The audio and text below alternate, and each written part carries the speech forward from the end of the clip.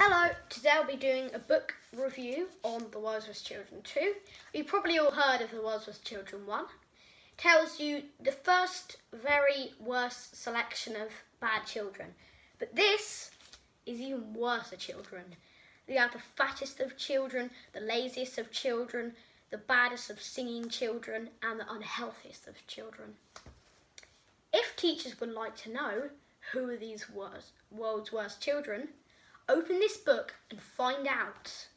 Has many children who could be knocking onto the door of your classroom, but beware, once you've opened this book, it may never get shut.